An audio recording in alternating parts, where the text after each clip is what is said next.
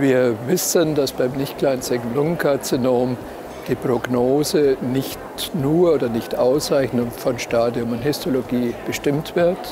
Es gibt andere biologische Faktoren, wie zum Beispiel die Zytokine. Und wir haben am Tumor die Expressionen von zwei Zytokinen, IL-17 und IL-22, bestimmt. Wir haben vorher bereits bestimmt die Immunzellen im Tumor, die wir mit einer Multispektralanalyse immunistochemisch angeguckt haben.